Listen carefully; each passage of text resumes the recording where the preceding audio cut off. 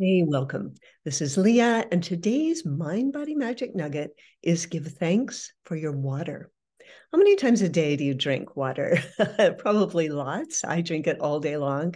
And every single time you fill a glass or a container with water and get ready to drink it is an opportunity to come into gratitude, deep, deep gratitude for this most simple and life giving um, substance that you have, this gift from the earth. Notice where yours comes from. Just take a moment to think about the water that you're going to drink and notice where it comes from. Mine comes from the earth beneath us. We have a well, and the water comes right from underneath our feet.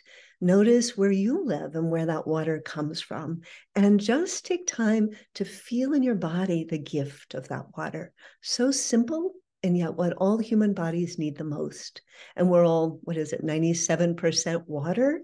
So as you drink the water, look at it, feel it, thank it, be grateful for it. And as you drink it, feel it coming into your body. It makes a difference in how you receive it. Just try that. Mm. Feel the water coming in, feel it going and permeating your cells. You be aware of it. You can actually feel it coming in.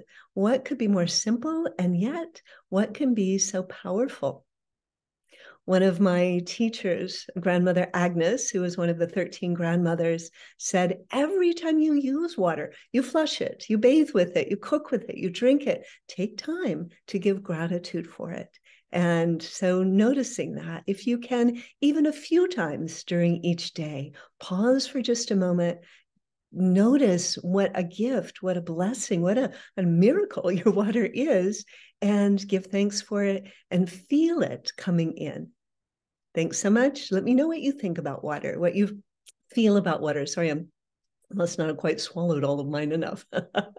what you think about water and feel about water, and what happens when you take just that moment to bless your water.